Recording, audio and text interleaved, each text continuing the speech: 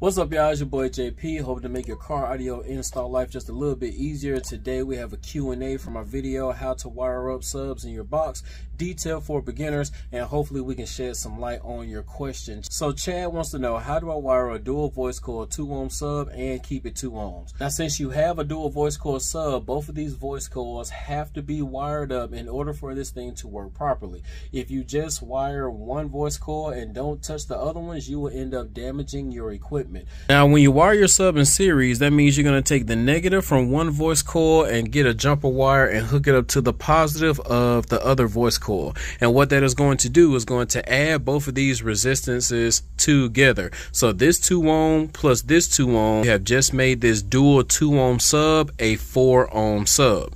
So with this sub wired in series, what you want to do is take the speaker wire that's going to go to your amp and you want to run the positive to the positive over here and run the negative to the negative over there, which will allow that amplifier to see 4 ohms at the amp. The other way that we can wire this sub up is going to be parallel, which means that we're going to take the positive on this voice coil and hook it up to the positive on this voice coil. We will take the negative of this voice coil and then wrap it around and hook it up to the negative on that voice coil. And when we do that, we're going to divide the resistance. So 2 divided by 2 is going to be 1 ohm.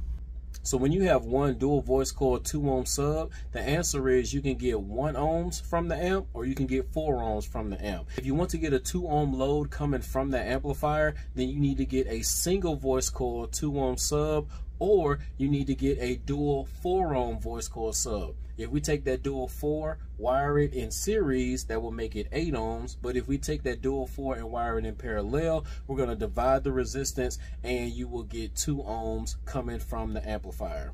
Well, I want to say that different. This the amp is going to see 2 ohms coming from the sub, so it will provide power at 2 ohms going to the application, if that makes more sense. Now, the only other way that you could probably get away with this is that you can put one amp on each coil. I do know people that do this. They usually run stuff in competition. So you will have one amplifier that will provide two ohms worth of power. So let's just say your amp puts out a thousand watts at two ohms. They'll put one amp on the left coil and then they will get another amp on the right coil. But then that means you're to have to buy two amplifiers. You got to have double the wire, fuses, all that type of stuff. So it just really depends on how far you want to take it. If it was me and you want to make sure that your ohm load at the amplifier amplifier is 2 ohms, get a dual 4 ohm voice coil sub or get a single 2 ohm voice coil sub because the dual 2, you only got the 1 or the 4 ohm load at the amp guys find any value in the video, man, please hit that like button. Don't forget to subscribe, share, comment if you want to. I'd like to take this time to thank everybody who actually chooses to support the channel. Whether you guys buy one of the fan subscriptions from jpsaudio.com or the Patreon, you decide to buy your parts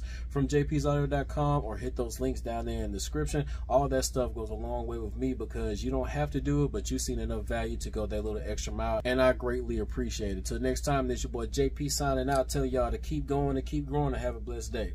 Peace.